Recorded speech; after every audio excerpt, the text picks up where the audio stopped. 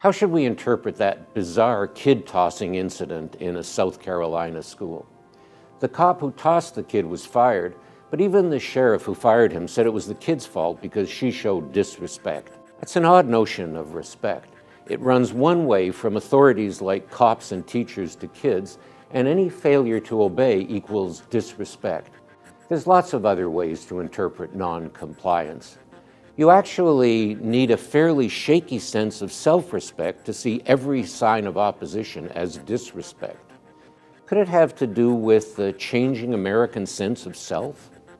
We know most U.S. cops take their nation's image seriously. They wear those flag pins. And America's taken a beating across the world lately.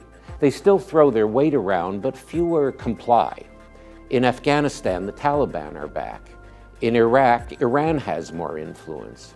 Cuba defied them for half a century, and now the U.S. backed down. You don't even have to go abroad. There's been domestic defiance of authority since the Ferguson protests. Was this cop saying, almost pathetically, on behalf of how things used to be, show some respect, kid? Somebody somewhere should. For the Toronto Star, I'm Rick Salutin.